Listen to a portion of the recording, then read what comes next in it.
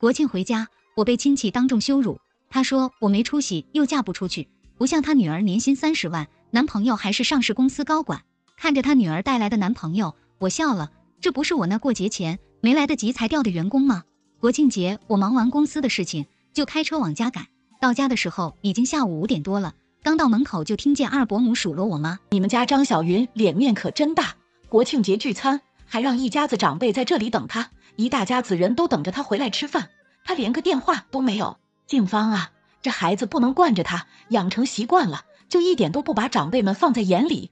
二嫂，小云她公司有点事没忙完。”路上又堵车，回来晚点也不是他自己想的。再等会儿，他应该马上就到了。他多大个公司，有事没忙完了，这国庆节还加班？不知道的还以为你们家张小云做什么高官了。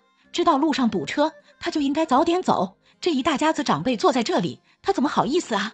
我妈听不下去，语气有些气愤。公司不大，但工作肯定还是要做完的。我们家小云又不靠别人吃饭，我在我自己家等我女儿回来吃饭，有什么问题？你们家张婷婷不也没到吗？二伯母被我妈对的没面子，就说起我妈来了。我们家婷婷肯定比张小云先到。静芳，你看你就是惯孩子，长辈们一帮你教育孩子，你就帮孩子说话。你要是再这样，以后可没人帮你教孩子了。二伯母现在的业务都已经拓展到帮别人教孩子了吗？你们家张婷婷你教好了吗？我进门吸引了一屋子目光，屋子里一大家子长辈，也没一个人帮我妈说话。二伯母被我对得下不来台，但很快反应过来。开始教训我，张小云，你真不懂礼貌。屋子里叔叔大伯、爷爷奶奶都在，你不叫人上来就跟我急。你爸妈就是这样教你的？我爸妈怎么教我的？暂时不用二伯母担心。现在不是在问你们家张婷婷吗？您教育我，我想问你们家张婷婷，你教好了吗？找着工作了吗？去年贷款逾期的三十万还了吗？骗四叔家弟弟的五万块钱还了吗？二伯母听我提起张婷婷，突然得意洋洋起来，说起这个，小云。虽然二伯母的话不中听，但作为一家人，二伯母还是要说一说你。婷婷虽然比你大不了多少，但好歹是你姐姐，你自己没有方向，就应该向姐姐学习一下。你婷婷姐姐去年虽然做了错事，但及时迷途知返，今年不但把欠的钱都还了，还找了个好工作，给家里寄了三十万。最重要的是，你婷婷姐姐还把自己的人生大事解决了。我冷笑的看着二伯母说：“她家闺女的事，你婷婷姐姐。”在大城市找了个在上市公司做高管的男朋友，年薪百万，还开保时捷。正好你也在大城市上班，你那公司工资又不高，国庆节还加班。等你婷婷姐姐和姐夫来了，你好好敬一杯酒，来年让你姐夫带着你去他公司上班，顺便再给你找个男朋友，免得你熬成老姑娘了嫁不出去。小云，虽然你是女孩子，但还是要有点出息，盯着那两三千块钱工资的工作，日子也过不下去。我毕业之后组建了团队，自己创业，但我只告诉了我妈和我爸，其他任何一个亲戚都没说。到现在，亲戚们都以为我只有两三千块钱的工资，我的事情就不劳烦二伯母费心了。我就想知道，二伯母确定这次张婷婷没骗你吗？二伯母脸色一变，不再说话。婷婷姐怎么还没到？该不会被她的大公司拉回去加班了吧？该不会保时捷堵车了吧？二伯母怎么不打电话问问婷婷姐有没有把长辈们放在眼里？现在大家可都在等着婷婷姐呢。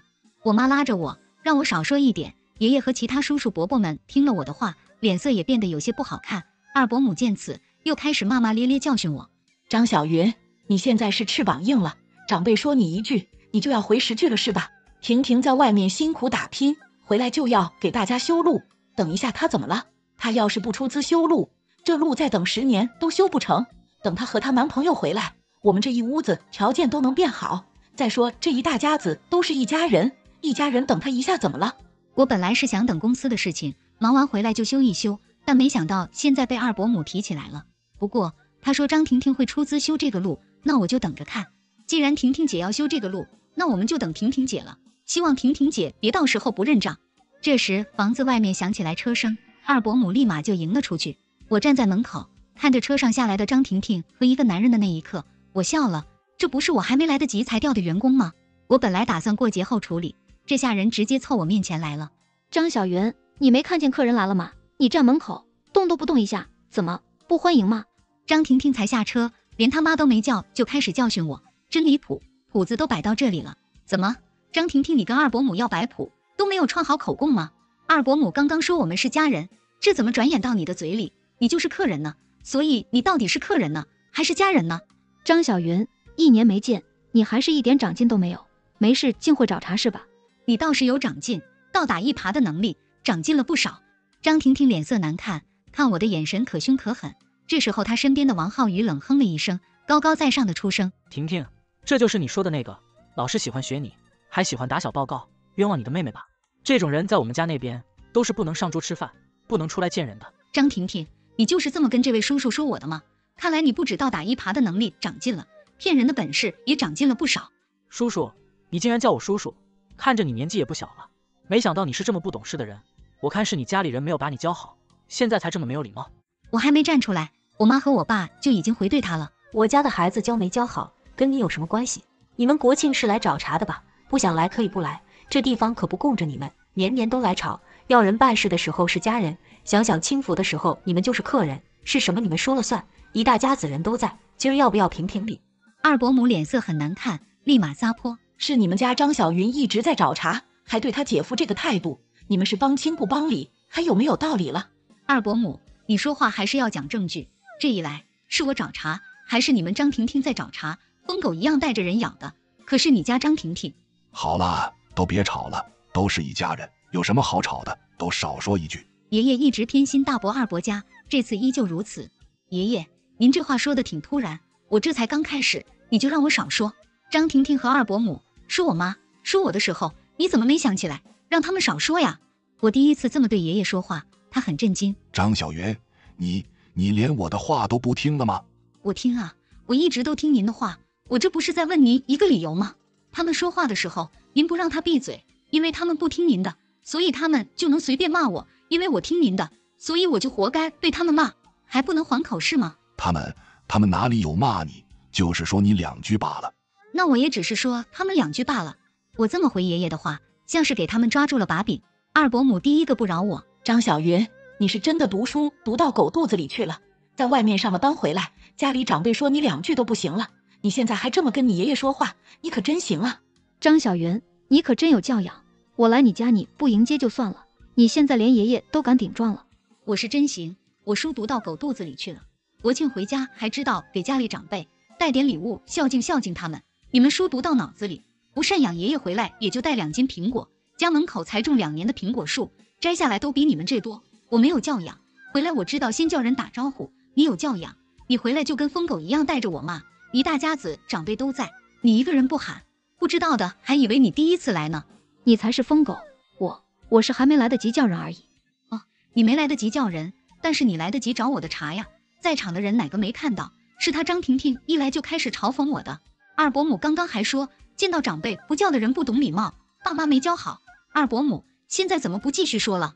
此时的二伯母脸色特别难看。张小云，你是不是要逼死我？长辈说你两句怎么了？看着你长这么大，说你两句都不行啊？这还有没有天理啊？养我的，对我有恩的，别说是说我，就算打我，我都认了。二伯母，尊重是相互的，就算你是长辈，我不欠你的，耍泼在我这里没有用。我又没说你欠我的，哪家长辈不会说小辈两句？我都是为你好，你不领情就算了，你还把话说的那么难听。今天你婷婷姐带男朋友回家，你这个态度，你就是存心见不得我们家婷婷好。二伯母说着说着，最后还哭起来了。张小云，我第一次带王浩宇回来，你就这个态度，你太欺负人了。你这样完全就是在打我的脸。你让王浩宇以后怎么看我们整个张家？张婷婷这一句话，把事情上升到了整个张家。家里看热闹的长辈们坐不住了。张小云，你也是。张婷婷今天带对象回来，你让着她一点会怎么样吗？你丢脸可以，不能丢我们张家的脸。作为姐姐，说你两句又不会掉块肉，你就揪着人家说你两句的事情不放，没能力你还不让别人说你？世上哪有你这样？也不能让人家看我们张家笑话，传出去，你以后都不好找对象。这么多人一起说我，张婷婷和二伯母脸上闪过得意，我这次一个都不让着。二伯母，你这话也是好笑，凭什么他找我麻烦，我得让着他？到底什么情况？您不是也看见了？你与其让我让着他。你还不如让他自己少找麻烦。大伯父丢脸的可不是我，找麻烦踢到硬茬，你不能说是我的错吧？这小吵小闹，他非要上升到丢张家的脸的地步，真的丢脸的是谁？您自己看不出来吗？四叔，你也说她是姐姐，他说我两句我不会掉块肉，那他不说我两句也不会掉块肉啊。你怎么不去让他少说两句？您觉得他有能力，那你就别让他骗你家弟弟的钱了。我爸也想说我两句，但是被我妈拉住了。本来就是他找小云的麻烦，你要是敢说小云，我就跟你翻脸。长辈们都是有眼睛的，今天这事情的对错，你们自己可以心里想一想。你们要是非要认为是我的问题，那就随你们怎么想。以前我不管你们是什么想法，但是从现在开始，错就是错，对就是对，少来道德绑架我，打着为我好的旗号说些有的没的，最后还要我来让着你们，那再也不可能了。张婷婷今天自己来找我麻烦，还在外面诽谤我，我要她给我道歉。要张婷婷道歉，就是在打二伯母家的脸。她第一个不同意。张小云，你要你姐姐跟你道歉，你要不要我也跟你道个歉啊？二伯母。你有这个觉悟很好，张婷婷听到了吗？你妈年纪大了，都有这种觉悟，你年纪轻轻，不会连这种觉悟都没有吧？天啊，这是造什么孽呀？陈家怎么出了你这种狼心狗肺的东西？长辈说你两句都不行啊，现在还要逼着长辈给你跪地认错，还有没有天理啊？我妈听不得，有人说我狼心狗肺，还冤枉我。二嫂，什么叫狼心狗肺？你们不狼心狗肺吗？你们把爸爸接过去赡养了吗？你今天一来就找茬。你说我就算了，又说我家张小云，你们不想来就不来，别在这里摆谱。我自然也是跟我妈站在一块儿的。二伯母，你说话可别前言不搭后语。我什么时候说了要你跪下认错了？大家都听着呢，你可别想信口雌黄。二伯母，我可没说要你跪下认错。大伯、大伯母、四叔、四婶、爷爷奶奶，你们可都听清楚了，我可没有要二伯母跪下认错。你要我跟你道歉，你这还不是要我给你下跪道歉啊？你要长辈跟你道歉，你还不是逼我？我只是要张婷婷道歉。二伯母，你要跟我道歉，是你自己说的，我又没让你道歉。我没错，我才不会道歉。你去年骗四叔家弟弟钱的时候，也是这么说的。你是永远也不承认自己的错误。当我说起去年骗钱的事情，张婷婷明显慌了。王浩宇，我没骗钱，是他冤枉我的。我相信你，婷婷你那么好，怎么可能会骗钱？王浩宇说完，恶狠狠地看向我。你们家门槛挺高。我再也不来了。至于婷婷提的出钱修路的事情，你们门槛这么高，自己出钱修吧。那不行，你们说了要出钱修，那你们就不能说话不算话。我们也想说话算话，但是有的人不欢迎我们，我们凭什么出这个钱？就是我们家婷婷和女婿回来出钱，却还要挨骂，我们为什么要出这个钱？张小云肯定是赚到大钱了，不需要我们出钱，我们走就是了。你们都是张小云的长辈，跟他计较什么呀？他就是看到你们好，嫉妒你们，你别跟他计较了。你们走了，路好长一段时间都修不上了。你们别劝我，我们都是他的长辈，他有拿我当长辈看吗？他有拿我们家婷婷当姐姐看吗？有把他姐夫放在眼里吗？呵呵，确实没有。张小云，你简直要反了天了！爷爷话音刚落，上来就是给我一巴掌，打得我猝不及防。爸，你打小云干什么？你看看你教的好女儿，长辈们都在这里，她亲口承认眼里没有长辈，你是怎么教孩子的？爸，别叫我爸。长辈就说他两句，他吵吵闹闹成什么体统？别说长辈说他打他，他都该受着。看着他长这么大，还说不得了。爸，您这话不是这么说的。说我家小云，我家小云是三岁小孩吗？凭什么他想说就说？而且二嫂看着小雅长大，怎么了？我家小云吃他一口，喝他一口，还是欠他钱了？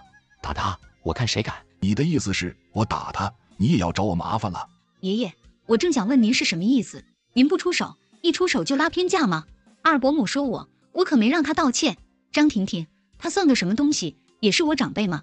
凭什么他随便说我，我就说不得他了？您的意思是，长辈说我两句，我该受着？那张婷婷算什么长辈？我猜想问问，这是什么体统？你你，张小云，你简直是要气死我！您从小看着我长大，这一巴掌我就挨着，算是偿还您看着我长大的恩情。但我今天把话撂在这，我是成年人了，欺负我还是为我好，我一清二楚。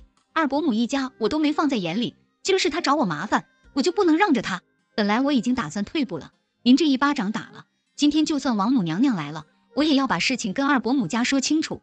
二伯母听到我这样说，顿时哭天喊地。好啊，我倒要看看你要跟我说清楚什么。长大了，出息了，翅膀硬了，现在回来找长辈算账了。二伯母，我知道你想哭，但你先别哭，以后有你哭的时候。张小云，你可别欺人太甚。张婷婷，你要先凑上来，那我就拿你开刀好了。张婷婷，你去年骗弟弟钱，骗到我弟弟头上，在我弟弟这里没骗到，你就去我弟弟学校，传我弟弟私生活混乱，搞得他现在都还被人误会。当时我没找你算账，那是因为你跑得快。你上次拿了我的纯金项链去卖，被我的朋友抓回来。你说我欺负你，带人找我麻烦没找成，你记恨我，你还记恨我在学校拆穿你装富二代让你丢脸的事情。所以你带了个男朋友来，就是为了找回场子踩我一脚。你以为他是你的靠山，他出资修路，大家都会听你的来踩我一脚是吧？张婷婷被我说中心思，脸色不好看。张小云，你别在这里胡说八道。我告诉你，张婷婷，人只有自己才靠得住，你的男朋友你靠不住。我把话放这了，我家的路我自己可以出钱修，拿着修路的钱就想拿捏我，你以为我拿不出来吗？听我说这话，张婷婷和王浩宇突然笑了。你有什么钱？扫地的三千块吗？张小云。别以为我不知道你在做什么工作，在王浩宇的公司做清洁工。你现在把大话扔在那里，可别到时候打脸。清洁工？我什么时候成清洁工了？你上次在顶楼办公室扫地，我可看得一清二楚。你在这里装什么？到底是谁在装？行，既然你见过我，那我就直接通知你，王浩宇，你被开除了。另外，你最好保证自己的项目里面的账目都是对的，不然你就等着吃官司吧。呵呵，你以为你是谁？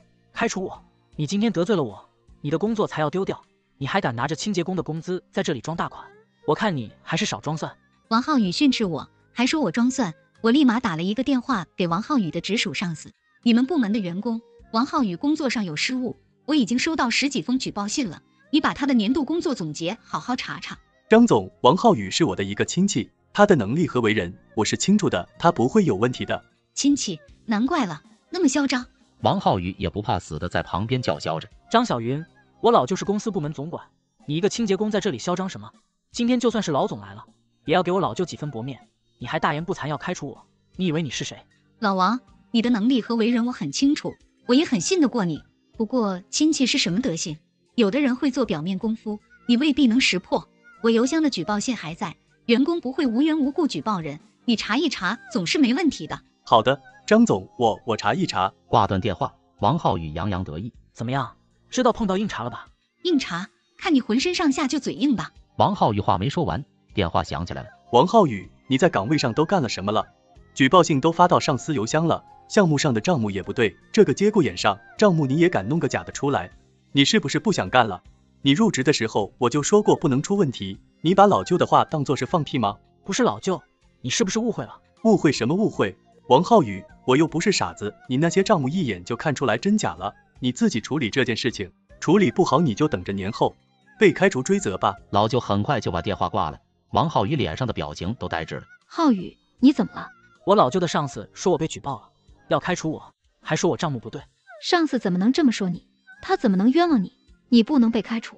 笑死，别人这么说你，难道不是因为你已经干了这样的事情吗？张小云，你给我闭嘴！全都是你，遇到你就全是麻烦，你真烦。哈哈。到底是谁遇到谁才全是麻烦？我请你来的吗？张婷婷被张小云气得不轻，但王浩宇突然出声打断她：“是你，是不是你干的？刚刚是不是你去举报我？一定是你，是你举报我，我才要被开除。错，不是我举报你，是我要开除你。你凭什么开除我？你怎么能开除我？呵呵，我是你老舅的顶头上司，我凭什么不能开除你？霸占别人的奖金，做假账，举报信在我邮箱堆着，你说我怎么能开除你？”你怎么可能是我老舅的顶头上司？你王浩宇话还没说完，小云这边电话也响起来。小云直接当着昂浩宇的面接了电话，还开了免提。张总，王浩宇的事情我已经打电话通知他了，您放心，这件事情我一定会给您一个交代。小云挂断电话，王浩宇这次直接站不住。你是张总，张总你饶了我吧，别开除我。王浩宇，你在干什么？你怎么跟张小云说这种话？你走开，都是你在挑唆，是你在我面前说张总的坏话。我才会找张总的麻烦。张婷婷也是满脸震惊，急得哭了出来。是你自己说要帮我收拾他，王浩宇，你现在倒挂到我头上了，你到底有没有良心？不是你说他没什么出息吗？张总，你饶了我，别开除我。王浩宇，你可真没品，真废物。是我没品，我是废物。张总，你别开我。我还是那句话，你最好祈祷项目账单没有问题，不然你就等着收法院的传票吧。王浩宇亲口承认小云是他上司。这把周围的长辈们都惊讶住了。张小云在外面都做公司老总了，挺能干的。张婷婷他妈刚刚还说她的女婿年薪百万，那张小云年薪是多少？看来张小云说要修路不是说的假话呀。小云的二伯母从呆滞中反应过来，什么意思？张小云，你不让我女婿去上班吗？对，我不让你女婿上班，而且您最好也祈祷你女婿没做什么过分的事情，不然我可能还会送他进去小黑屋。张小云，你敢送我女婿去小黑屋？信不信我打死你？二伯母，您尽管来，觉得我做错的也尽管来，不服也可以报警，我们看看到底是谁的问题。还能是谁的问题？就是你的问题。你那么大个公司，养着他一个人怎么了？你是不是就不想家里人好？张小云，你心思真是歹毒啊！你这个狼心狗肺的东西！妈，你别管他了，这种男的只会推卸责任，怎么能不管呢？他条件这么好。妈，你没听到吗？他马上要进去小黑屋了。张小云，你还敢说？都是你，是你说他嫉妒你，小时候偷你玩具，长大偷你成绩，还骗你钱，没出息，都是你说的。张婷婷，你诋毁我，把自己干的事情推卸给我，你这倒打一耙的能力还真是与日俱增啊！你这个老女人，害我丢工作，你真该死啊！你自己工作问题关我什么事？你不做那些事，谁会开除你？你还敢说？就这样，两人吵了起来，王浩宇就要直接动手了。够了，要打在外面打，在我家打算什么东西？处理你的事情，我不会搁置停下。至于张婷婷，我说了，今天你必须道歉。不道歉，你就等着你那些事情被翻出来吧。婷婷就不道歉，大不了这饭我们不吃了。我家婷婷没错。张婷婷，我不问二伯母，你自己想想，你要不要道歉？我只问这一次。张婷婷在小云的注视下，最后还是跟小云道歉了。二伯母，我说了，今天有些事情不说清楚，谁都不可以走。你的意思是要找我麻烦？好啊，我听着。张小云，你这种人绝对嫁不出去。我爸赡养爷爷奶奶这么多年。你们作为兄弟，没有管过爷爷奶奶一次，逢年过节，你们也没有给他任何东西。现在是不是该算算你们出赡养费了？凭什么？凭什么要我们给钱？不给钱也可以，把人接走，住一年还是住一个月，还是住一天，你们自己商量。小云这话说出来，长辈们集体坐不住。张小云，你有什么立场说这话？你爸都没说话，你有什么资格说话？老爷子住在这里，好好的，凭什么去我家？你在说什么？老爷子的根就在这里，不能跟我们走。张小云，你想赶我走？爷爷，您搞错了，我今天是在纠正一件事情。伯父、伯母、叔叔、婶婶们该负起来的责任，全都要负起来。你、你、你这是要造反吗？自从你五十三岁上山给大伯父找草药摔伤了腰开始，在我爸这里调养生息了二十年。这二十年，我爸药没给您断过，也活也没让您干过。您把张峰伯伯们养这么大，是不是也该让他们负责了？这是一笔旧账，翻出来，大家的脸色都不好看。你看看你养的好女儿，她要撵我走，你怎么说？小云的意思啊，就是我的意思啊。哥哥弟弟们，你们也确实该赡养一下爸妈了。造孽呀，真是反了天了。我们没说要赶您走，老宅就在旁边，您要回老宅住，让他们给钱，还是说要跟他们一起住，全看您和他们商量。我们养了您二十年，您又不止这一个儿子，不能全部责任都让他负责。您住在我们家。胳膊肘还往外拐，您不是一直惦念着大哥、二哥、四弟吗？您去跟他们住两年，帮衬一下他们，不是更好吗？你、你们就是要撵我走，造孽！天杀的！你就听你这个混账女儿的话，要把你老子撵走，你就是个逆子！我要去找公安局来把你抓进小黑屋。爸，婷婷说的没错，二十年前您为了给大哥采药摔伤了腰，这么多年一直就住在我家，这些事情村上的邻里邻居都看得到，您非要报警把我抓进小黑屋。您可以尽管去，证人又不是找不到，医院开的证明也不是查不到，我们就看看他们到底要怎么判。爷爷，我可只是要跟大伯、二伯、四叔商量事情，从头到尾没提一句要您出去，您可别胡说。你的意思不就是要把我撵走吗？让他们把我接走，不就是要撵我出去吗？就是啊，爸爸在这里住了这么多年，你们突然要他走，就是在撵他走啊。爷爷想报警就去报吧，您不报我还想报警。看看不赡养父母对考单位有没有影响？大伯家的那个哥哥在准备考公，四叔家的弟弟马上毕业也准备考公。不过其实有没有影响都不重要，反正只要单位知道大伯四叔不赡养爷爷，我想哥哥和弟弟的工作生活一定会很精彩。至于二伯母、二伯父今天不在家里，一向都是您做主。我和张婷婷也在一个城市，必要的时候我也可以去说一说。这下没人反对我的话了。大伯、二伯母。四叔、爷爷的事情，你们打算怎么处理？爸爸去我家住我没意见，但是不能一直住我家。二弟和四弟也要把责任负起来。二弟今天不在，那就是弟妹做主。我的意见是一家住一年，明天就是初一，正好可以去住。不过我儿子明年要考试，爸爸住我家不方便，不如先从二弟家开始。我不同意，我家婷婷明年也有事，住在家里不方便，四弟那边先住下吧。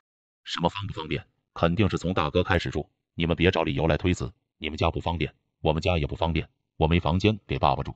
一群人说着是同意了，但是依然推辞来推辞去。小云爷爷脸都要气得扭曲了。我哪儿也不去。这时，小云拿起手机，佯装打电话：“喂，你好，是派出所吗？张小云，你在干嘛？爸，您去我那边住一年也没什么关系，就去我那里住吧。就是，爸，大哥都说让您去他那边住了，您这么多年也没在大哥家住，还是去吧。爸，过去住吧，以后您还会回来的。你们真的诚心要让我过去吗？肯定是诚心。爸，你在老三这边您受苦了，去那边享清福去。我早就在这边待够了，家里又穷，环境又差，还有两个不懂事的孩子。要不是老三留我，我早就走了。爸，你怎么能这么说呀？小云爸爸气得不轻。随后，小云冷笑着把手机录像打开。既然伯伯都同意大伯父的意见，那就拿着作为证据，大家以后可别闹事耍赖。就这样，一大家子人不欢而散。王浩宇和张婷婷吵架，直接走了。爷爷，您既然是要去大伯家住，大伯家肯定有这些东西。您刚刚也说了，东西脏兮兮的，带过去可别脏了大伯父的地。不带就不带，你以为我稀罕？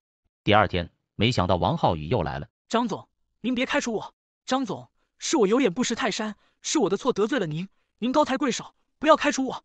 王浩宇，我要开除你，不全是因为你得罪了我。公司账目你要是能在年后上班之前解决掉，那就没有问题。不然，小云态度摆在这里了。王浩宇一句话不敢说，马上就走了。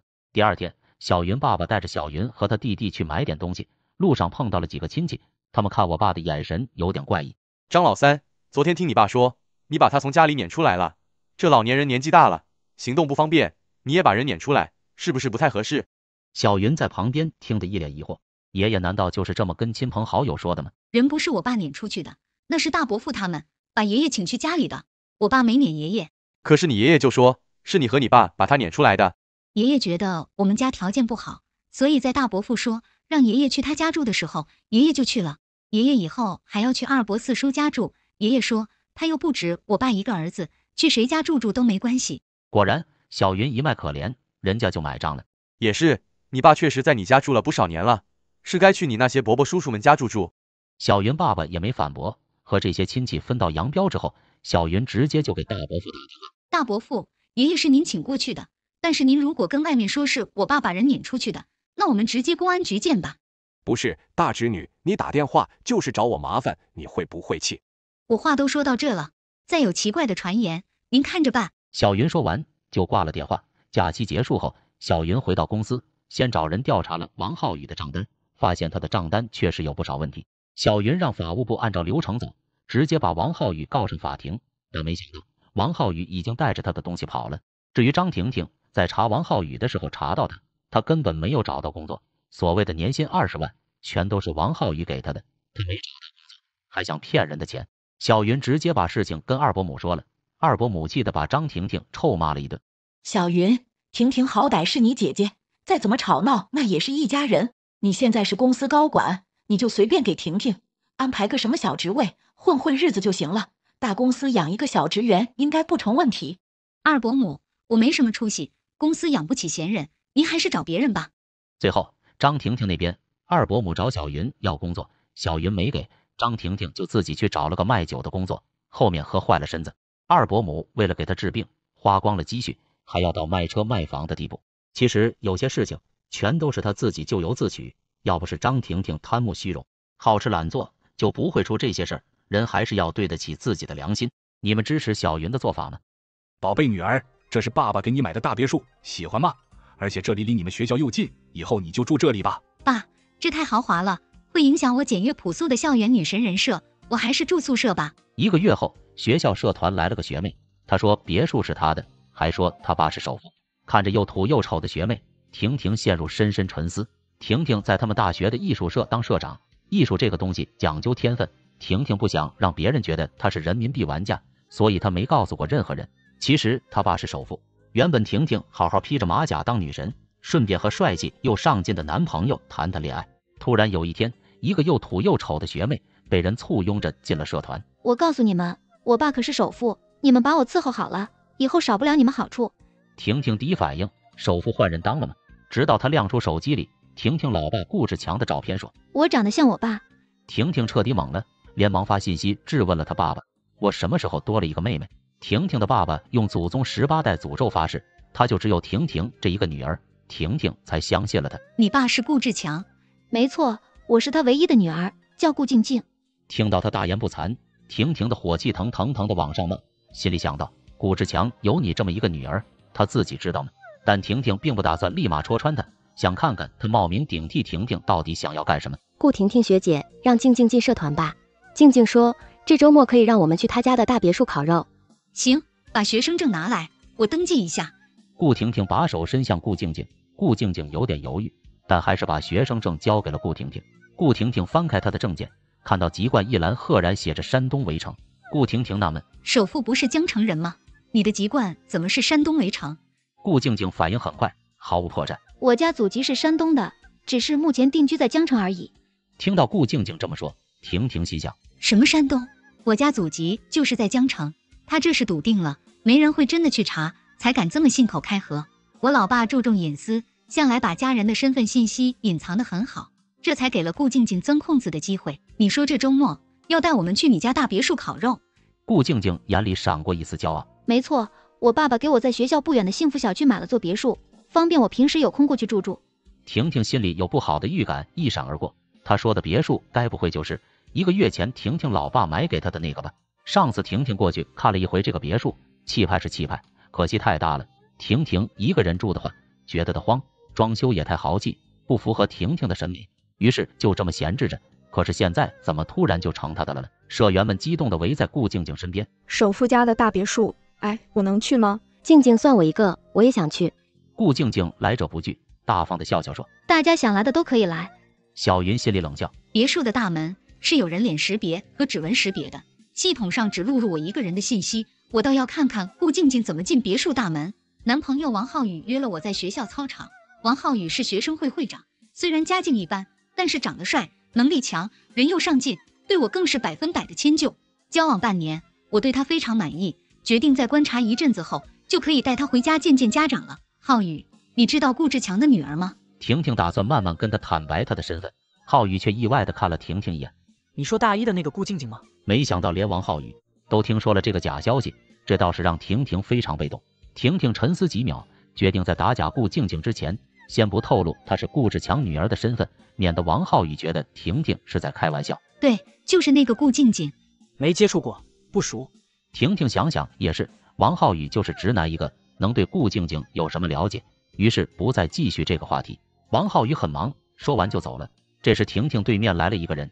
一看却是顾静静，顾婷婷学姐，原来王浩宇学长是你的男朋友啊！我看上他了，学姐主动退出吧，条件随你提。从小的教养告诉婷婷，做人要低调，千万别炫耀。是以婷婷作为真正的首富千金，二十年来从来都没有说过一句这么狂的话，今天却从一个冒牌货的嘴里听到了。婷婷冷笑一声，恶意满满。那你说说，你能出得起什么样的条件？顾静静高傲地说，学姐已经大三了吧？等你毕业了。我可以推荐你进顾氏集团工作，并且给你开七位数的年薪。就这？顾婷婷笑了。也就是说，你现在什么条件也拿不出，就想空手套白狼？顾静静丝毫不认怂。学姐，我希望你格局可以大一点，别光盯着眼前的一点点小利益。她高高在上的姿态让顾婷婷反感。顾婷婷仔仔细细从头到脚用眼神扫了她一遍，然后悠悠说：“你说你是顾家的大小姐，我不信。”顾婷婷看到她的瞳孔急剧一缩。但很快找回气场，说道：“我是不是顾家大小姐？等周末带你到大别墅看过，不就知道了？谁说有别墅就可以证明你是顾志强的女儿？我不信，没准那个别墅是你租的。你这头发是刚做的，看着挺有光泽的，可你发质好差，以前很少保养吧？指甲做了美甲，手上也涂了粉底，看着精致。不过你的手指好粗，跟常年干活的人一样。难道顾家大小姐平时还需要干粗活吗？衣服和首饰都是大牌。”像是精心打理过的，不过跟你的气质完全不搭。你的穿着打扮真是怎么看怎么别扭。该不会衣服是你偷的吧？原本就心虚的顾静静被一句偷的给刺激的炸毛，丢下一句神经病，头也不回的逃走了。婷婷乐了，她该不会真的是小偷吧？这天，顾婷婷刚到学生会办公室，就看到王浩宇被顾静静纠缠着。顾静静是真的怒了，顶着我的身份插足我的感情，顾静静可以更不要脸一点吗？假千金当小偷还不过瘾，你现在直接当小三是吧？我发誓，这是我这辈子说过的最难听的一句话。顾婷婷本来就心虚，一句掷地有声的假千金，最能气到她发抖。顾婷婷，谁是假的？顾静静拉下脸来，还用我再说一遍吗？又土又丑，谁给你的自信敢冒充白富美？婷婷终于把心里话给说出来了。婷婷以为王浩宇是被纠缠的那个，理所当然的以为他肯定是站在婷婷这边的，没想到打脸来的这么快。王浩宇挡在了顾静静的面前，皱着眉对顾婷婷说：“顾婷婷，你少说几句，静静不是你想的这样。白天还跟我说和他不熟，晚上就叫上静静了，不是我想的这样，那是哪样？”顾婷婷盯着王浩宇的眼睛质问：“我这个人其实很好说话，但在感情里，我只喜欢被明目张胆的偏爱。我要我的男朋友，无论是错还是对。”都只站在我这边，如果他做不到，那我就把他踹开。婷婷愿意听他解释，可他一个劲推婷婷走。我先陪你回宿舍，回去路上跟你说。顾婷婷指着顾静静说：“不用回去，就当着他的面解释。现在有的是时间，你可以解释啊。”王浩宇支支吾吾说不出来。顾静静见到这种情况，得意的笑了。事情就是我对王浩宇学长表白了，浩宇学长答应给我一个追求他的机会。听到顾静静的话，要说婷婷此时此刻的心情。简直可以用晴天霹雳来形容。不是婷婷对王浩宇有多深情，她只是接受不了两件事：第一，他看走眼了，看上一个墙头草；第二，墙头草放弃我，倒向一个骗术拙劣的丑女孩。她甚至还没吃到顾静静给她画的饼，就这么倒戈了。婷婷转身就走。婷婷知道她和王浩宇之间玩完了，因为婷婷有爱情洁癖，无法接受一个吃着碗里的看着锅里的渣男。王浩宇追了上来，路上他拼命向婷婷解释：婷婷。你听我说，顾静静问我她能不能追我，我怎么回答吗？我只能说这是她的自由，别的我真的什么也没说。求你别生气了好不好？我不会接受他的，我只爱你一个。王浩宇扯着婷婷胳膊，一路从教务楼扯到了教学楼。放手，放手！你以为我读幼儿园吗？以为三两句话就可以骗我回头？就在这时候，教学楼里走出来一个人，这人直接走到婷婷他们面前。你谁啊你？你没事吧？婷婷看向男生，一双大大的耳朵。他的脸有点眼熟，张小马。婷婷脱口而出，男生一愣，像是没反应过来，婷婷竟然知道他的名字，随即朝婷婷点了点头。他怎么办？婷婷看向王浩宇，王浩宇连忙对婷婷说：“婷婷，你一定要相信我，我会跟你解释清楚的，好不好？刚才的事真的是误会。”婷婷心里觉得很悲哀，这个两面三刀的男人，是不是一直把她当做好骗的大冤种？婷婷不打算就这么放过他，他敢耍婷婷。婷婷就让他尝尝什么叫肠子都会青了。婷婷拿出手机拍下王浩宇狼狈的样子。婷婷边录视频边说：“王浩宇，我们交往了两年，我对你还是有感情的。只要你在视频里再说一遍你刚才说过的话，你说是顾静静在单方面纠缠你，你对她没有好感，你绝对不会接受她。只要你说了，我就原谅你。王浩宇，你敢不敢说？”他的表情由红转青，由青转红。婷婷对他心里的想法一清二楚。如果真说了上面的这段话，那别说是顾志强的女儿了，换成是任何一个有自尊的女孩，都不会再接近他。而他不想错过顾志强的女儿。顾婷婷，我们分手吧。终于得到意料之中的结果，婷婷嗤笑一声，冷静的关掉视频。王浩宇低着头直接跑远了。其实婷婷的心里没有外表看来的那么平静。那一瞬间，婷婷真的特别想冲过去，一脚把他踹翻，再大声告诉他：白痴，我才是那只你想攀上的金凤凰。你曾经离机会只有一步之遥，可惜现在永远错过了。但是我没有，我校园女神的人设不能蹦。我告诉自己往好处想想，在我对王浩宇的感情还没有那么深的时候，让我看清楚他的人品也算是件好事。我回头打算谢谢张小马。一阵风吹过，带着沙子进了眼睛，我忍不住揉了揉眼，张小马却误以为我哭了。别哭，他不值得失去你，他会后悔的。婷婷心想，这人看着冷冰冰的。没想到还挺会关心人。知道了。第二天，王浩宇和顾静静光明正大的在一起了。顾婷婷在艺术楼前遇到了他们。顾婷婷学姐，我们又见面了。顾婷婷嗤笑一声：“假千金和劈腿男真是天生一对。假千金，你打听好对方的家世了吗？这么迫不及待的倒贴，小心到时候人财两空。学姐不识货，我识货。浩宇学长的价值，我比你更清楚。那周末的别墅之旅，我拭目以待。”正在这时。张小马走了过来，你怎么在这？恰好路过，不想看你输，来帮你一把。婷婷明白了张小马的话外之音，分手遇上前男友，谁没对象谁可悲。她这是在帮婷婷找回场子呢。婷婷点点头，轻轻说了句：“谢谢。”今天是艺术社开社团会议的日子，偌大的教室里，乌泱泱坐了一大波的人。张顾婷婷召集了所有的社员来开会，其实是有个比较重要的事要宣布。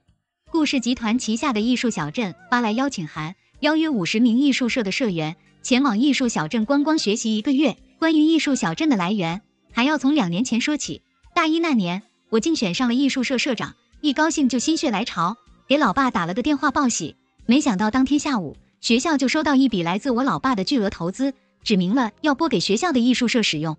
要不是我强烈反对，老爸甚至想直接坐飞机来我们学校给我颁发一个荣誉勋章。为了让我做好艺术社长的宝座，老爸大手一挥，在城南投资建设了一个文化艺术集散地，名字叫艺术小镇。小镇引进了两千多家时尚企业，上百名的国内外顶级设计师聚集于此。因为我不想暴露身份，所以老爸以公司的名义跟校方签约了一个人才导入协议，对外宣称校企合作，以创业带动就业，打造时尚产业人才高地。学校每年都会定期输送艺术社的社员进艺术小镇学习，久而久之。别人都以为这是合同里约定好的，其实他们都不知道，所有的名额都是由我来直接指定的，跟协议没有半毛钱关系。看到社员都来了，婷婷开始点名：美术系的张小云、李丽、陈东，产品设计系的王鲁远。以上五十名同学，明天早上十点之前在校门口集合，坐学校安排的大巴车前往艺术小镇学习一个月。被点到名字的学生高兴地欢呼了起来，毕竟能去艺术小镇，对于学生来说是一个非常好的历练机会。甚至在以后求职的时候，这也是一个强有力的优势。婷婷正准备说一些注意事项，顾静静的小跟班李秀秀突然跳了出来打断：“学姐，你私心也太重了吧？凭什么选的都是和你要好的人？要说我选的都是和我要好的人，那纯纯是种污蔑。首先，当社长最起码的要求就是一碗水必须端平，否则他当能考上这所大学的高材生都是泥巴捏的吗？我不公平的话，谁能服我？其次，我也是要脸的，小镇就是我家。”企业高管都是认识我的，输出一波关系和我要好，但是无才无能的人，最后丢的还不是我自己的脸，所以不用我亲自出马，就有社员替我出头。你凭什么说学姐不公平？没错，这个名单里的人都是公认的有能力的，而且大部分人都大四了，需要实习的机会。你一个大一的新生，不懂规矩，瞎说什么？小跟班怂了，他小声说：“静静，这也太不公平了吧？凭什么都是学姐说了算？”顾静静之前接二连三的被婷婷戳中痛点，心里早就拱了满满的火，借机找茬说：“秀秀说的没错，艺术社没道理，是你的一言堂。我提议重新选人。”婷婷眼皮都懒得抬。艺术小镇不是顾氏集团旗下的吗？让谁去实习，还不是顾大小姐一句话的事？顾静静马上就意识到事情不妙，立即拒绝。公司的事都是我爸爸做主的，我不会插手。安排个把人实习而已，怎么能算是插手呢？还有谁想一起去实习的？去求一求顾大小姐不就行了？小跟班看顾静静的眼神亮了，小云心里偷笑，这叫搬起石头砸自己的脚。没再理会黑着脸的顾静静，小云对需要去实习的社员说了些注意事项，又公布了本学期的活动、比赛等等，然后宣布散会。会后，张小马约婷婷出去走走。女生的第六感告诉婷婷，张小马对她肯定有意思。两次接触下来，婷婷倒是不反感的。于是他们一起去江边散步，婷婷边走边等他表白，可张小马东拉西扯的，就是说不出主题。我问你，你是不是喜欢我？张小马脸都僵了，半晌后点点头。我喜欢你两年了。婷婷有点意外。那你怎么从来没有对我表白过？张小马头一低，向来冷硬的人，这会儿看着竟然有点落寞。准备表白的时候，发现你已经有男朋友了。哦，不过我刚失恋，还不想这么快就开始一段新的恋情。你先别拒绝。听我把话说完，我比你大一岁，目前大四，读的是医学专业。我家里条件还可以，父母都是明事理的人。我对自己的感情有了解，对你绝对不是一时兴起。我喜欢了你两年，也有终身爱你的打算。我很感谢，不过抱歉，我还是要拒绝，对不起。婷婷话还没说完，张小马脸色一紧，急忙打断：“你不用这么快做决定，给我一个机会，我们先相处试试，可以吗？”婷婷突然觉得他还挺可爱的，仔细想想，似乎他的每一次出现。都能让婷婷觉得挺愉快。既然这样，那不如就相处试试。好吧，那给你一次机会。宿舍里，前一秒婷婷还回忆着张小马高兴的像只二哈的脸，下一秒就接到了老爸的电话。什么？你让我相亲？和谁？婷婷老爸小心翼翼地说道：“是你梁阿姨家的儿子，小时候你叫他哥哥的，你还记得不？你幼儿园的时候很喜欢跟他玩的。”不是，为什么突然要我相亲呢？难道我们家破产了，需要我商业联姻吗？不是的，其实是你爷爷给你和小石头定过一门娃娃亲。现在是什么年代了，还玩什么娃娃亲？我不认，不认，不认！当然不认，只不过这次你梁阿姨突然提出这件事，再说我们两家也算三十之交了，这我哪好意思拒绝？乖女儿，你放心，我的意思是你就去见一面，事后我就说你没看上他儿子。挂了电话，婷婷觉得脑袋突突的，这个亲不相也得相，不过上有政策，下有对策。第二天，婷婷故意迟到了半小时才到，没想到男方比婷婷更拽，他还没来，又等了十多分钟。婷婷远远看着张小马走了过来，婷婷，是我。坐在咖啡厅里，婷婷终于知道了事情的来龙去脉。张小马，也就是梁阿姨的儿子，昨天向他妈妈透露，他正在追求喜欢的女孩子。梁阿姨一向很开明，十分赞同儿子追求真爱的行为，但是她突然想到自家老爷子曾经和顾家的老太爷。也就是婷婷的爷爷定过一门娃娃亲，后来张家去了京城，而顾家留在了江城，因为发展方向不同，所以两家的后辈交集不多。虽然谁也没把这件事当真，可梁阿姨觉得必须要给娃娃亲一个交代，于是给儿子出了个主意：只要两人相亲一回，事后就说没看上，这事不就了结了吗？正好得知婷婷和张小马在同一个城市，于是就有了这一回的相亲。婷婷哭笑不得，张小马却乐得眉飞色舞。他说：“我们是千里姻缘一线牵。”就在这时，婷婷手机上却突然来了个电话，是美术系的李丽。喂，什么事？学姐，我们到了艺术小镇，小镇工作人员在清点名单的时候，发现有几名同学和对方收到的实习名单不符。名单上美术系的张小云和设计系的王卢媛等好几个同学的名额都没了，换成了李秀秀、陈看这几个和顾静静比较要好的大一新生。李丽的意思很明显，实习名单被顾静静动了手脚。婷婷突然想到，昨天她把实习名单放到部里老师办公桌上的时候，王浩宇和顾静静也都在场，这事一定是他们干的。所以他们明知道老师的办公室有摄像头，还是明目张胆的更换了实习生名额。婷婷想，她大概猜到了顾静静的心态，她以为实习名额是学校安排的，对接人也只认名单而已。而丢了名额的学生，大概会认为小镇是因为首付千金的命令才更换名额的，也不敢闹事。他这是在赌。可惜他注定会输。好的，我知道了。挂了电话，婷婷忍不住嘲笑他们的愚蠢，他们这是主动找死啊！随后，婷婷给艺术小镇的实习负责人打了一通电话。两个小时后，顾静静的小跟班等人就灰溜溜的被赶了回来。跟着一起来的还有负责校企合作的王主管。王主管带着像鹌鹑一样的几个学生，杀到了艺术系主任的办公室，把几个学生私自更换实习名额的事情原原本本的和系主任说了一通。李秀秀等人。自然不会白白背下这个黑锅，立马把顾静静给供了出来。婷婷到办公室的时候，正听到李秀秀哭着解释：“王主管，真的不是我们换的实习名单，我们只是让顾静静给我们一个实习的名额而已。”李秀秀哽咽着补充了一句：“顾静静就是你们顾氏集团的大小姐，她爸是顾志强。”王主管是认得婷婷的，为防她现在就戳穿顾静静，婷婷立即走了进去。王主管见到顾婷婷，连忙就要说话，婷婷却用安抚的眼神示意她先别出声。婷婷还想看看顾静静到底怎么进自己的大别墅呢。王主管清了清嗓子：“我本人不认识顾大小姐，不过不管是谁犯的错，希望学校都可以公正处理，不要徇私。”系主任连忙点头：“我保证学校一定会严惩赵市长。”周末很快就到了，对顾静静持怀疑态度的同学早已经迫不及待的想见见首富家的大别墅。顾静静对这天也是格外重视，浩浩荡荡的领着几十个人到了紫金山别墅的门口。这就是顾静静爸爸给她买的别墅。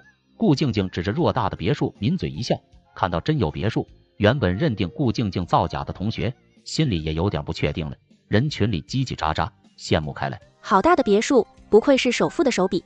王浩宇也来了，一脸的与有容焉，仿佛这别墅是他家的。婷婷约了张小马一起过来看热闹。婷婷一抬下巴，指指顾静静，大门只录了婷婷一个人的信息。婷婷倒要看看顾静静怎么进去。张小马漠不关心的扫了眼顾静静。把随身带着的水壶打开，递到婷婷面前，喝点水。还真有点渴了。婷婷咬住吸管，咕咚咕咚喝起来。一群人在外面观摩了好久，顾静静终于走到门前，准备开门。婷婷以为他要用指纹或者刷脸解锁大门，不由得勾着脑袋去看，没想到他却突然按下了门铃。门铃，别墅里有人。我懵了，谁在别墅里？过了一会，一个五十岁上下的佣人打扮的阿姨从别墅里走了出来，把顾静静迎了进去。这下连张小马都露出了不解的表情。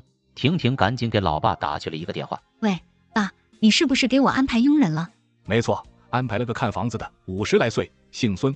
王秘书看他女儿跟你是同个学校的，比较有缘分，就选了她。怎么了？”女儿跟婷婷是同一个学校的，婷婷一下子就秒懂了。原来顾静静是给她看别墅的阿姨的女儿。婷婷决定要把这阿姨辞了，另外还要告她带人非法侵入民宅。很快，保安和警察就到了，而顾静静的烧烤 party 才只是刚刚开了个头。蹲下都不许动！有人举报你们非法入侵民宅。几名警察亮出证件，十几个保安手持工具一字排开。一群大学生那见过这个阵仗，全都傻了眼。直到有人把事情的来龙去脉都交代了一遍，为首的警察才走到顾静静的面前质问：“你说你是这座别墅的业主？”顾静静脸色惨白如纸，被当众揭穿身份的恐惧让她说不出话来。她把求助的目光看向孙阿姨，期待她能说点什么。不用看了，警察适时打断，冷着脸说：“我们已经和真正的业主打电话核实过，这别墅跟你没有任何关系，还不老实交代？想让我带你去局子里慢慢说是吗？”警察的恐吓起了作用。孙阿姨脸色惨白，我说：“我说我是这里的佣人，静静是我的女儿。她说要带同学来这玩。”我想别墅平时空着也是空着，就同意了。这件事都是我的错，跟静静没关系啊！这一下人群直接炸开了锅。顾静静是顾家佣人的女儿，她竟然好意思说自己是顾家的大小姐。顾静静太牛了，论不要脸，我真的就服她。她竟然敢玩这么大！在一句句的嘲讽里，顾静静浑身发抖，然后直直的晕了。王浩宇的脸色惊得好像见了鬼，死死盯着晕在地上的顾静静，像是要把她看穿个洞来。闹剧结束，除了几名学生被喊到警局做笔录之外，其余的人都回学校了。顾静静借着母亲在顾家当佣人的机会，冒充顾志强的女儿的消息，第一时间席卷校园，成为人人茶余饭后的谈资。学校迅速给了他一个记大过的处分。但是等待顾静静的还不只是一个大过这么简单。婷婷老爸在给她买别墅后，顺便让王秘书在别墅里准备好了婷婷的生活用品、服装、首饰，当然这些都是名牌。顾静静身上穿的、用的，伪装自己是白富美的资本，都是她偷用或者偷卖别墅里的东西得来的。婷婷让王秘书核算好损失后，直接向人民法院提起了诉讼。顾静静即将面临几十万的补偿，拿不出钱就有可能进小黑屋。另一边，许久没见的王浩宇托关系找人带给婷婷一段视频，他想约婷婷见面。视频里，王浩宇憔悴不堪，右手举了把水果刀抵在左手腕，他深情地对婷婷说：“婷婷。”我自始至终爱的只有你，我只想再见你一面。如果你不肯答应，我就把这一刀划下去。我在贵宾酒店的六零六房间等你。王浩宇的行为让婷婷不齿。如果他约婷婷见面的地方不是在酒店，婷婷原本已经打算让事情就这么过了的。毕竟王浩宇已经声名狼藉，婷婷没必要再对付他。可他明显还在侮辱婷婷的智商，用自杀来威胁婷婷去酒店。如果婷婷去了，他接下来打算对婷婷做什么？婷婷心想，跟我玩心机。那我就奉陪到底。婷婷转头就把酒店名字和房间号发给了顾静静。顾静静一直以为王浩宇是个富二代，婷婷相信被债务缠身的他一定知道接下来该怎么做。自从婷婷设计让顾静静和王浩宇酒店见面后，又过了半个月，王秘书说顾静静已经把欠下的欠款全都不急了。婷婷以为事情到这里就结束了，顾静静还债的钱肯定是来自于王浩宇的。王浩宇不清楚婷婷送他的东西有多值钱。但是顾静静倒是清楚的很。不过，即便是他拿了王浩宇身上的东西，不管是骗的还是偷的，那都与婷婷无关。这段时间，婷婷和张小马正奉旨谈恋爱呢。对于这段感情，两家的长辈都非常看好。婷婷本人也在一天天的相处中越来越沉浸其中。他们经济实力相当，相处的时候轻松又自在，完全不用像对待王浩宇一样小心翼翼顾及他的感受。他们三观和爱好相似，在一起的时候有说不完的共同话题。就算彼此安静沉默，也不会觉得冷场。有时候，婷婷甚至觉得顾静静是老天爷派来帮她的。她一出现，就用照妖镜照出了王浩宇的真面目，还让他捡到了张小马这个大宝贝。这么说来，顾静静简直是婷婷的恩人。之后，婷婷不再关注王浩宇和顾静静，只专心过好自己每一天的生活。直到有一天，学校又传开一个大新闻：王浩宇杀人未遂，被羁押了。下午五点的时候，婷婷和张小马正在吃晚饭。学校里传来了警笛声和救护车的声音，声音往湖边去了。等他们吃完了，才从同学口中得知顾静静被王浩宇推下了湖，被恰好路过湖边的同学看见，于是报警了。顾静静被救护车拉走，王浩宇被羁押。又过了几天，婷婷从同学的口中得知了事情的完整始末。那天，顾静静到了酒店房间，敲开门后见到了王浩宇。她原本是想求王浩宇帮她还债的，王浩宇当然不肯。于是她直接迷晕了王浩宇，偷走了王浩宇的手表，还私自拍下了不少不雅的照片，打算以此来威胁王浩宇。顾静静便卖了手表，之后还清了债务。但很快她身上又没钱了，她不肯回学校。怕被同学耻笑，可他妈要他面对事实，把他从家里赶了出来。他没地方可去，又没钱住宾馆，于是只能用不雅的照片威胁王浩宇给他送钱。王浩宇家境本来就不好，当然没钱给顾静静挥霍。可顾静静不信，以为王浩宇是因为记仇才不肯给自己钱。他质问王浩宇：“明明你身上的一块表就价值几十万，为什么偏偏不肯借几万块钱给我应急？”王浩宇根本不知道手表的事，一再追问顾静静。才知道被顾静静拿走的那块手表价值几十万，他当即要顾静静归还手表，还说手表是婷婷送我的生日礼物，你赶紧还给我。顾静静当然不相信，以为这是王浩宇找的借口，于是真的在校园网上发了一张在脸上打了码的照片来吓唬王浩宇。他没想到这一行为会让原本就精神紧绷的王浩宇彻底崩溃。王浩宇在湖边找到顾静静后，二话没说，直接就把她推下了湖里。刚好路过的同学看到了。及时报了警，顾静静才没什么大碍，不然王浩宇就真的成了杀人凶手了。这件事一出，轰动太大，情节太过恶劣，王浩宇和顾静静两人直接被学校下了开除处分。从此以后，婷婷也没见过顾静静，而王浩宇被判了刑，关进了小黑屋。婷婷去小黑屋见过他一面，王浩宇见到婷婷的时候，后悔不迭，泪流满面。婷婷，是我对不起你啊，我之前约你去宾馆，其实打算跟你发生点关系。最好拍下视频，这样一来，即便你不原谅我，我也可以以此威胁继续和我在一起。我知道错了，老天爷一定是为了惩罚我，才让我被顾静静迷晕的。婷婷，你送给我的表价值几十万，是真的吗？顾婷婷点点头说：“是真的。除了那块表之外，情人节送你的腰带，新年送你的胸针都不便宜。等你出狱了，可以卖了换点钱。还有，我忘了告诉你，我才是古志强的女儿。”王浩宇崩溃了，他涕泗横流。大声诅咒顾静静，又不停的甩自己耳光。婷婷看着完全没了精气神，仿佛老了十岁的王浩宇。回去的路上，婷婷有些感叹：原来前途光明的高材生和铁窗里的囚徒只有一墙之隔而已啊！婷婷惋惜的摇了摇头。张小马紧了紧握着婷婷的手，对婷婷说：“所以说，人可以贪心，但不能贪婪。如果不能控制欲望，那就只能被欲望摧毁。还好，我这辈子只贪心你一个。”婷婷心里一暖，嗯，就这么说定了。一辈子我们只贪心对方一个人。王浩宇他妈告诉我，当他儿媳妇必须满足四个条件：不能要彩礼，家务要全包，工资要上交，必须生男孩。我说我找老公只有一个条件，必须父母双亡。谈恋爱一年，王浩宇提出带张小云见家长，张小云听了，满心欢喜的就答应了，随后准备了不少礼物带去。临出发前，张小云才知道今天见面的地点是在餐厅，而不是男友的家里。王浩宇尴尬的笑了笑，小云，我妈说第一次见面，外面更合适点。张小云心里突然有些不舒服，不让去家里，是因为他妈觉得我还没资格进她家门吗？到了餐厅，张小云主动将礼物提了上去，笑脸相迎。阿姨，第一次见面，不知道你喜欢什么，就随便买了点东西，希望你不要嫌弃。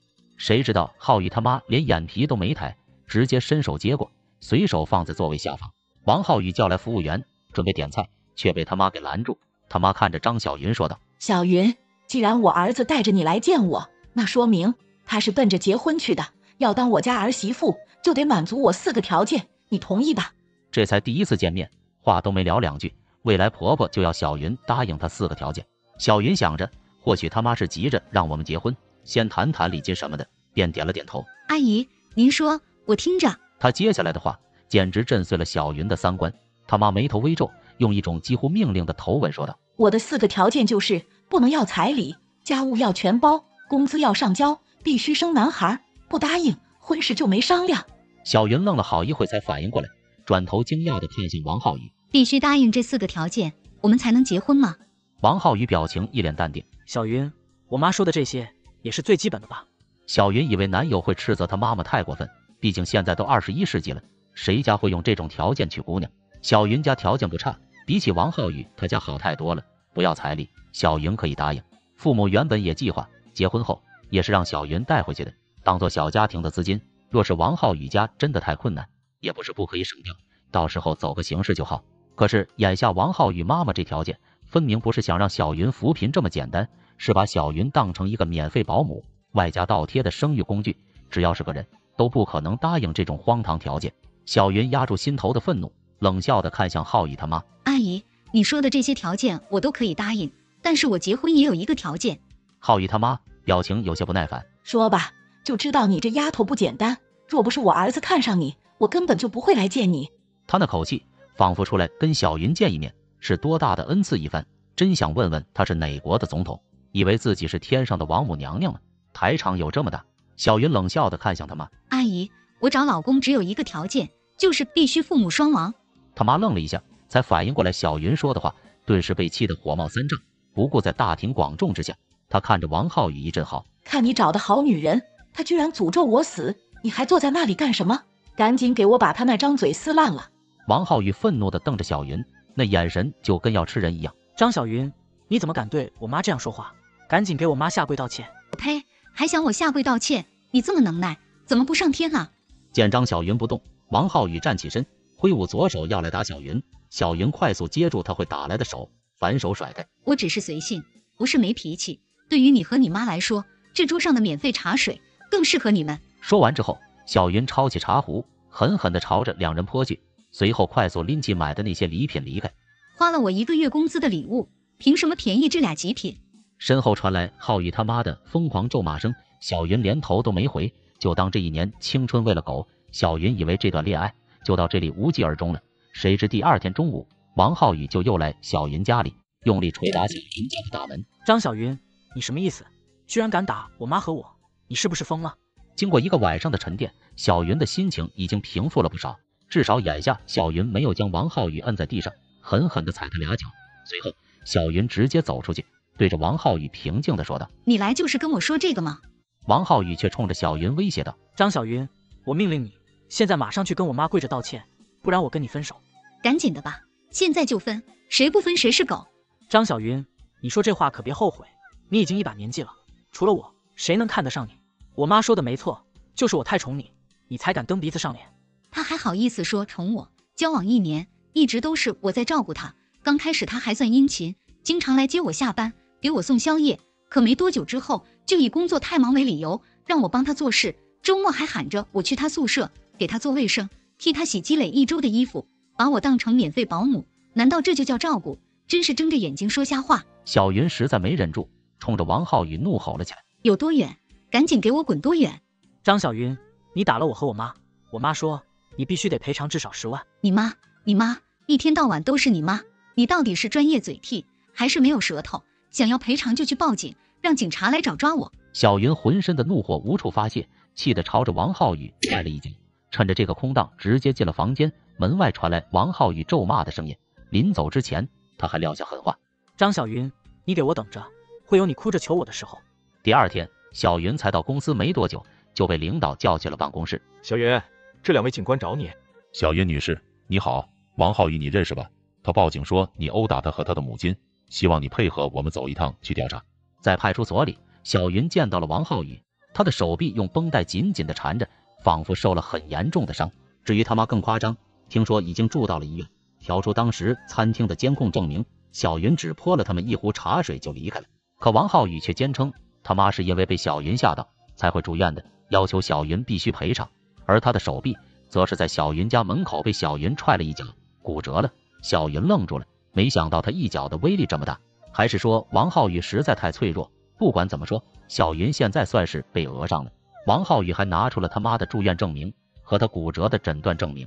警察说要带王浩宇做伤情鉴定，然后再确定赔偿和责任。可是王浩宇拒绝了，他说没时间耽误那么久，他可以给小云机会私下调解。因为是情侣吵架，警方也建议小云他们私下调解。当天没谈拢，约定了第二天下午再来谈。从派出所出来。小云一肚子的火都还没发泄，就被王浩宇挡住了去路。他甚是得意的望着小云：“怎么样？我说过会让你后悔的，现在知道错了吧？小云，只要你现在赔我十万，再去医院给我妈下跪道歉，只要你答应，我立马就撤诉，不然你就等着进小黑屋吧。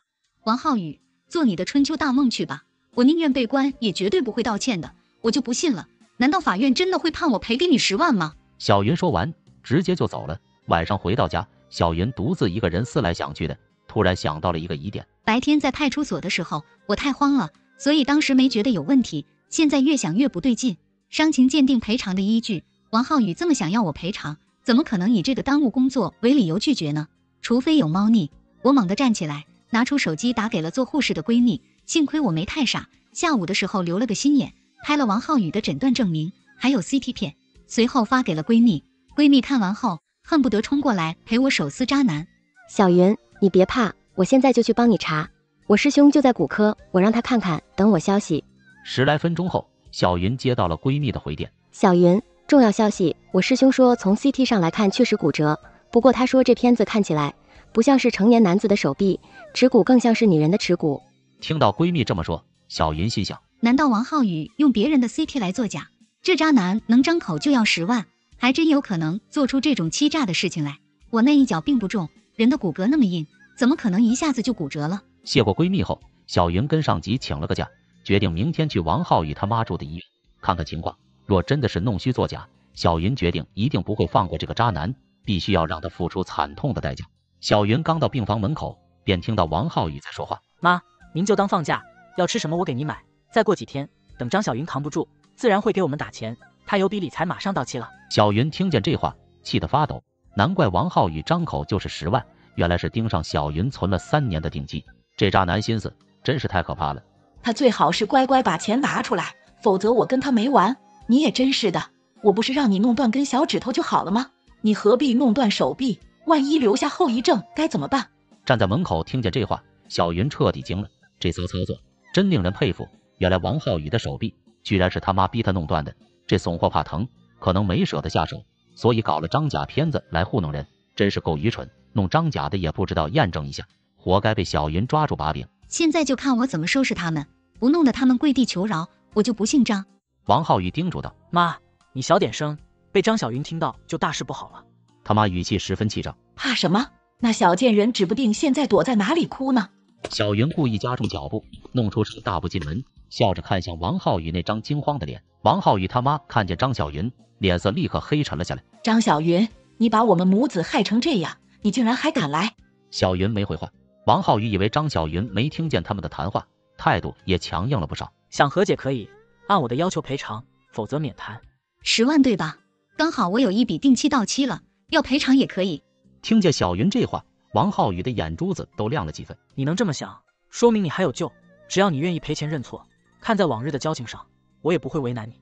小云看着王浩宇和他妈那得意的表情，钱可以给你们，就是方式特殊了一点。要微信还是支付宝？提现的手续费可得算你的。讹诈十万，连提现的手续费都舍不得出。小云心想。我当初是脑子抽了，还是被王家下了降头？怎么看上这么一个不是东西的玩意？我的钱可以给你们，不过只能烧给你们。王浩宇他妈愣了一下，才反应过来，随后开始哭天喊地的演戏，又是心绞痛，又是头痛想吐，一副马上就要撒手人寰的模样。张小云，我妈要出什么事，我绝对不会放过你。行了，王浩宇，你们就别演了，没意思。小云拿出手机，将刚才录的谈话内容放了出来。周围凄惨的哀嚎声逐渐降低，录音播放结束。你们接着舞，接着哭，我去趟警察局，问问你们这种敲诈勒索有没有人管。这下王浩宇急了，小云，你不能去。可是浩宇母亲却不慌不忙地说道：“儿子，你让他去，你手受伤是事实，我已经躺在病床上也是事实，看他怎么抵赖，他告不赢的。”浩宇母亲说完，眼神得意地望着张小云：“受伤是事实，就你这没用的儿子。”连断根小指头的胆子都没有，不知道花了多少钱买了一张假 CT 片子，他也不睁大狗眼好好看看，买的还是个女人的。听见小云说的话，王浩宇彻底慌了，脸色瞬间煞白。见王浩宇跟他妈发愣，小云继续放大招。现在呢，CT 片就在警察局里，再加上我手里的录音，你觉得你儿子得判几年？刚才还嚣张傲气的浩宇母亲也跟着慌了。好姑娘，这回是我不对，要怪怪我，你别告我儿子。我给你道歉，道歉有用，要警察来干嘛？小云说完，浩宇母亲竟然直接跳起来，在小云面前跪了下去。那我给你下跪，我给你磕头。浩宇母亲情绪异常激动，脑袋撞得砰砰作响。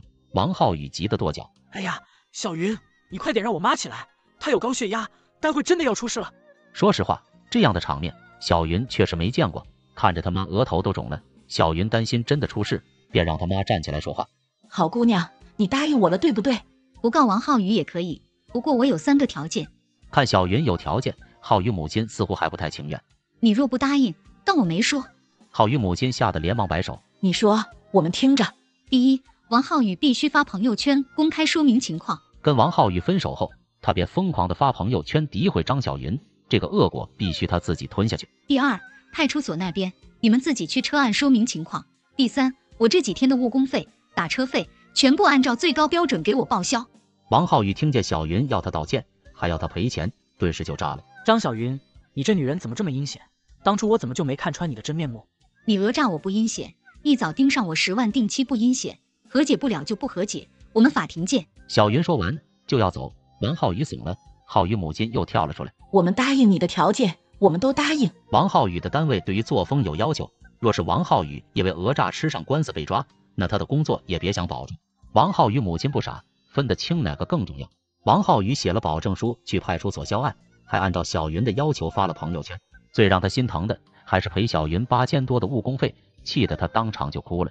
小云心情愉悦的拿着钱离开，这就是渣男该有的报应。一个月后，小云去商场吃完饭。出来却发现停在路边停车位上的车不见了，报了警才知道，原来拖走车的是抵押公司的人。王浩宇那个王八羔子，竟然早就将我的车给抵押出去，套现了一笔钱。现在到了期限，这笔钱没还上，人家就直接将车子给扣走了。这车子是小云爸爸给他买的，但是小云开车不大熟练，便一直是王浩宇在开。可是小云万万没想到，他居然用这车做了抵押。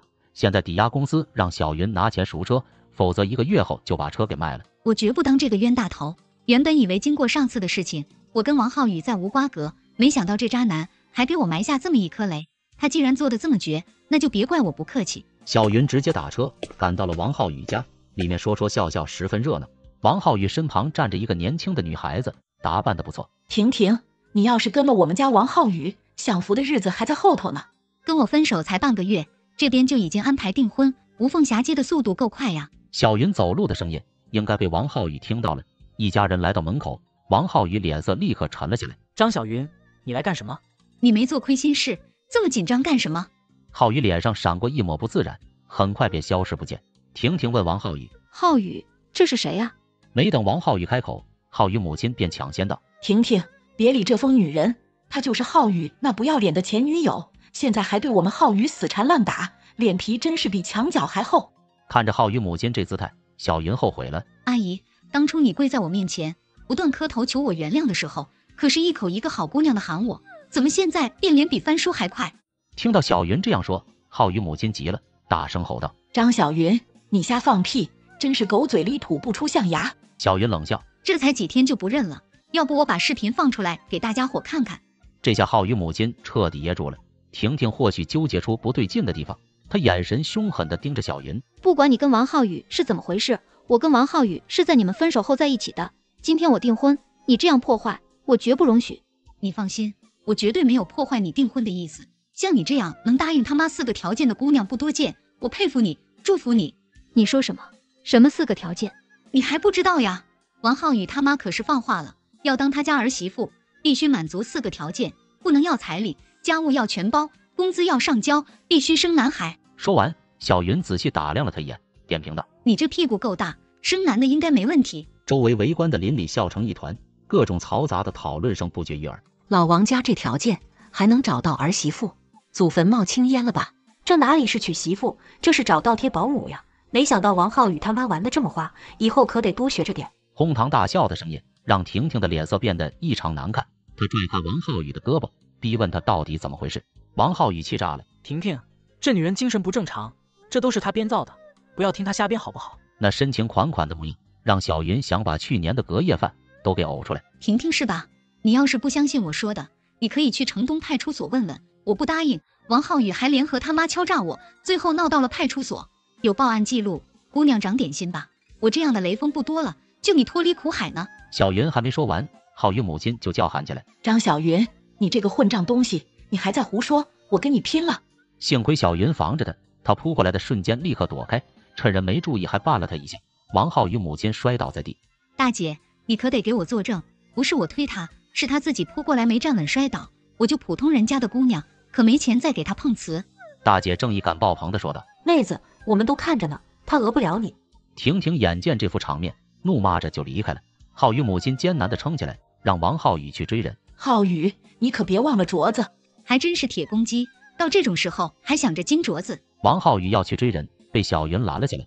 王浩宇气急败坏的看着小云要动手，小云动作比他还快，拽住他的手腕，怒视着他。王浩宇，你今天要是敢碰我一个指头，我保证让你死得很惨。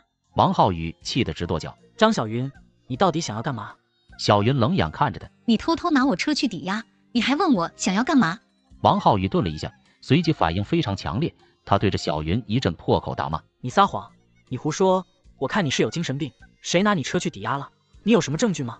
王浩宇，我说你傻，你还不信？你以为你做的天衣无缝？但是你有没有想过，抵押公司有监控，你把我车送去抵押的过程，人家拍得清清楚楚。王浩宇听见小云的话以后，顺问呆愣在现场。小云从口袋拿出在抵押公司拿到的贷款明细，甩在王浩宇的脸上。抵押二十万，连本带利，一共二十三万。给你一个机会，明天把我车还回来，否则别怪我对你不客气。王浩宇怂了，坐在地上哭得满脸都是泪水。我没钱，你这是要逼死我！我突然觉得眼前的男人有些陌生。在我的印象里，王浩宇一直都是老实敦厚的形象。我正是看中他的老实敦厚，还有质朴和勤劳，否则当初我也不会答应跟他交往。现在我只感觉眼前这个男人不仅没有半点担当，还懦弱的可怕。见王浩宇跌坐在地上，他妈挣扎着扑过来，有话你就说，再凑上来，别怪我对你不客气。浩宇母亲又开始她最擅长的那一招，呼天喊地的惨叫起来：“你个丧门星，把我儿媳妇弄跑了，你还敢叫我们赔钱？我们没找你赔钱就不错了，你也不撒泡尿，照照你自己，就你这样，怎么配进我们王家的门？婷婷家是拆迁户，刚刚拆迁赔了三套房，你这个乡下野鸡怎么跟她比？婷婷还是独生女。”我们王浩宇娶了她以后，就等着收租享福了。我算是明白了，原来浩宇母亲一开始就没看上我，那些无理的要求，就是想让我别缠着王浩宇。若是我能自动放弃最好，若是我太傻死心眼不松手，她也可以趁机让王浩宇从我手上拿走我的存款。这老婆子不仅长得尖嘴猴腮，心眼还黑得很，看上人家婷婷家里独生女，想要吃绝户，简直丧尽天良，一手算盘打得贼亮。将人算计的连皮都不剩。小云冷眼逆视着地上的浩宇，你要去骗谁？那是你的本事，我管不着。可是这钱你若是不还，我立刻就去告你。王浩宇不顾形象的哭着求小云：“小云，我真没钱，求你放过我吧。你那车子你反正也没开，你不要计较了，行不行？”他这种强盗逻辑，算是彻底把小云给气笑了。他这嘴脸实在太令人恶心。王浩宇，没钱你就可以抢，可以偷了吗？我告诉你。就算卖房卖楼，你也要把这笔钱给还给我。小云已经彻底看透这对极品母子的真面目，他们就是要钱不要脸的人，为了占有别人的钱，他们什么事情做不出来。面对这样的人，绝对不能手软。小云，我真的是看透了你，像你这种恶毒的女人，活该你没人要。你的心太狠了，你这辈子绝对嫁不出去。未来就算你跪着求我，倒贴我，我也不会多看你一眼。还敢诅咒我？碰到他就已经是我这辈子最倒霉的事情。难道还有比他这种禽兽更可怕的人？王浩宇，你不用诅咒我，我就算原地做尼姑，我也不会再跟你有瓜葛。你离开我的时候，神明告诉我四个字：人狗殊途。我们两个不是一条道上的。没事，别扯上我，赶紧给我还钱。小云态度非常坚决，这钱王浩宇要是不拿出来，绝对不罢休。见来硬的对小云不行，王浩宇又改成要求分期还款，先是说三年，后来见小云不说话，又主动降到一年。就他这个态度。我能给他分期，那我就是大傻逼。上帝将智慧撒在人间的时候，怎么就唯独给你撑了把伞，让你的智商如此感人？实在不行，你去残疾协会办个证，到时候你拿着脑残证来找我，我给你送个盒。王浩宇被小云骂的一个屁都放不出来，浩宇母亲彻底慌了，又开始哭天喊地的撒泼。我的命怎么这么苦？碰上这样的混账东西，他这是要彻底逼死我，还有没有天理啊？我看我还不如死了算了。小云看向吃瓜群众，各位大哥大姐，你们说句公道话，是他寻死觅活的不想还钱，不还钱还说我逼他，到底是我逼他，还是他想趁机耍泼？大家心里都有数吧。小云话音落下，一旁的大姐忍不住嚷嚷起来：“他就是故意不还钱，谁不知道老王家有钱？昨天打麻将的时候还说儿子赚了大笔钱，发达了，光银行卡里的存款就有上百万了。”旁边的大婶也义愤填膺地说道：“这种人就得给他吃点苦头。姑娘，报警吧，我们给你作证。”邻居的七嘴八舌，气得浩宇母亲浑身发抖。小云原本还担心王浩宇将这钱给花了，一时半会拿不出来。现在看来还是手段大精。王浩宇，我告诉你，今天我敢在这里闹，明天我就敢去你单位闹。你不还钱，我就闹到你永无宁日。王浩宇惊慌地看着小云，他被逼得实在没办法。小云就给他两个选择，要么给自己一刀，要么就给钱。他连小指头都舍不得断，他哪有这个胆？最后，在小云的逼迫之下，王浩宇终于老实给钱。当他把钱转过来的瞬间，他妈气得坐在地上，气都喘不上来，也没力气骂人了。临走之前。小云还特地告知了王浩宇一个真相。对了，忘记告诉你，抵押公司监控是我湖州的，下次出门记得带脑子。原本小云就是吓吓王浩宇，没想到这渣男平常花花肠子不少，关键时刻脑子不太灵光，就这样被小云忽悠了。这也是为什么小云急着今晚要王浩宇还钱的原因。小云担心过了今天，渣男万一似的下去找抵押公司的人要视频，就会穿帮。现在钱到手了，小云也没了顾忌。王浩宇被气得拿头去猛砸墙，大骂小云是骗子。刚走出巷子，小云便遇到刚才说要作证的那位大神。大婶一看便是热心市民，他将小云拦了下来，拿出手机递给小云看：“姑娘，我说要给你作证可不是假的，刚才我给你们全程录了像，要是他告你讹诈，我就用这视频给你作证。”小云听完，瞬间心头一喜：“大婶，你可以把视频给我吗？我留个底，说不定还能用上。”大婶大方的加了小云的微信。将视频传了过来。回到家后，小云将视频从头看了一遍。别看大婶年纪大，手机玩得很溜，视频拍得非常完整。小云将浩宇母亲说漏嘴的那段话截取了下来，然后将视频发给了顾婷婷。顾婷婷的电话是从小云跟王浩宇的共同好友那里拿到的。原来他们不少人都知道顾婷婷的存在。在小云跟王浩宇没分手的时候，浩宇母亲就已经给他安排了跟顾婷婷的相亲。看对眼之后，王浩宇又安排小云去见了他妈。这妈宝男挑媳妇，得让他妈喜欢才行。幸亏小云家没拆迁，否则被他妈给看上。等小云嫁进去，再发现王家的真面目，那小云这辈子算是彻底毁了。现在这事情被小云给知道了，他妈再想吃绝户可没那么容易。没两天，小云便接到了朋友打来的电话：“小云，王浩宇被单位给开除了。”小云有些激动：“什么情况？这渣男终于遭报应了。”王浩宇的未婚妻带着家里人冲来公司，说王浩宇骗婚。为了他们家清白，姑娘把公司砸了一通。